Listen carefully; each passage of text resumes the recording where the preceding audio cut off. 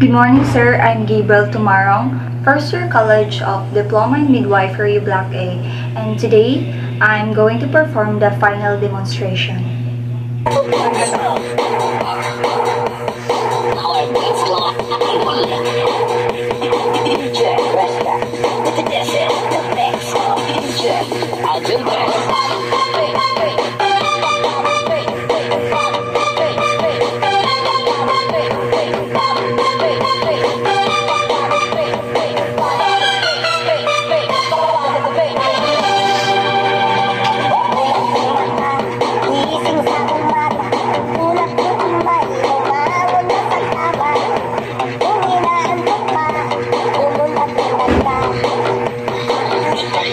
I'll do